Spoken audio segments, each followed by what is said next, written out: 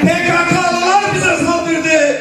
Göğsümüzü PKK'nın kurşununa hedef verdik.